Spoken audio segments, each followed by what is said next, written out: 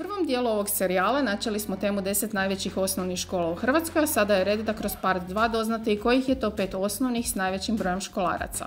Na peto se mjesto smjestila osnovna škola Šimuna Kožića Benje u Zadru. Školu pohađa 1095 učenika raspoređenih u 52 razreda. Inače, škola postoji od 1959. godine i ovo je treći naziv. Prvotno se zvala po Petru Zoraniću, onda Velimiru Škorpiku, a današnje ime dobila je 1992.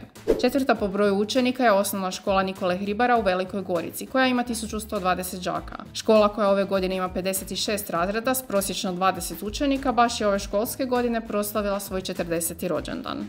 Na trećem mjestu je osnovna škola Savski Gaj na Zagrebačkom Maništvu. Ove godine pohađa je 1164 učenika i ima 48 razreda, odnosno čak 24 učenika po razredu. Baš nedavno dobila je područnu školu Blatu koja je značajno rasteretila učionice ove matične škole.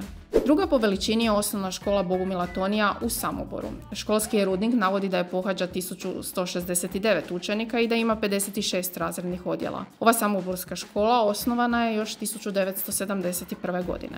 Iako biste se kladili da je na prvom mjestu najvećih osnovnih jedna u Zagrebu, promašili biste. Naime, najveća osnovna škola u Hrvatskoj s čak 1266 upisanih učenika je osnovna škola Vladimira Nazora Pazin. Ima čak 82 razreda s prosječno 15 učenika i danas je aktivno čak 8 područnih škola te glazbeni odjel. Povijest osnovne škole Vladimira Nazora seže još u 1890. godinu, a ime našeg velikog književnika nosi još od 60. godina prošlog stoljeća. Za više ovakvog sadržaja posjetite naš profil Srednja HR i kliknite ikonu Prati.